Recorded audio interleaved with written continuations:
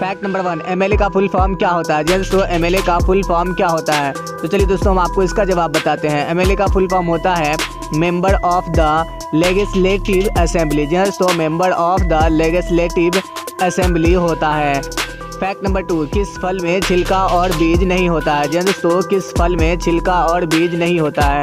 तो चलिए दोस्तों, हम आपको उस फल का नाम बताते हैं।